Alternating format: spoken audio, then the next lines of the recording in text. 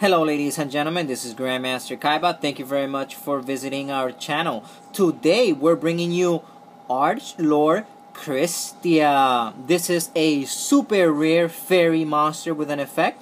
And as you can see, it has 2800 attack and 2300 defense. If you have exactly 4 fairy type monsters in your graveyard, you can special summon this card from your hand. Nice. When you do, target one fairy type monster in your graveyard. Add that target to your hand. 3.